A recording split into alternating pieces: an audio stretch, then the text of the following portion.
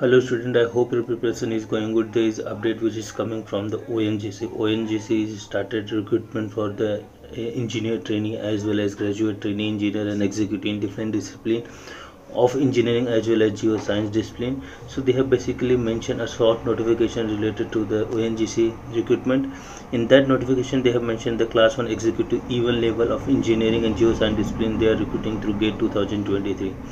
ONGC provide the best class exposure to the employee in terms of technology, pay allowance, career growth, as well as professional personal development opportunity. ONGC offer one of the best compensation package in the country in the terms of cost to company that is CTC, which is approximately 23.61 lakhs at E1 level. Based on your grade, your CTC is also going to change.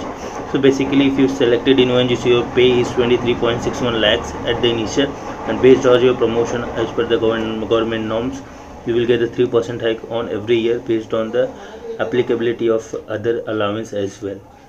ONGC they have also mentioned the one important criteria for the appearing in the interview of ONGC you need to clear the gate 2023 and based on your marks and rank you will shortlisted for the further rounds of ONGC you need to just basically fill the official like gate 23 form which is already started.